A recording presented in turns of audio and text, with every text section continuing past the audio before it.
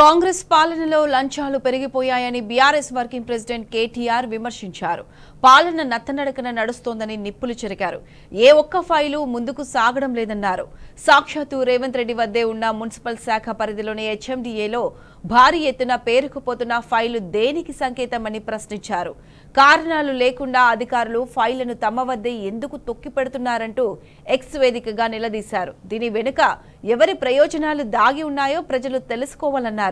అనుమతుల్లో అవినీతి నిరోధించేందుకు కేసీఆర్ ప్రభుత్వం టీఎస్ బీపాస్ తెచ్చిందని గుర్తు చేశారు.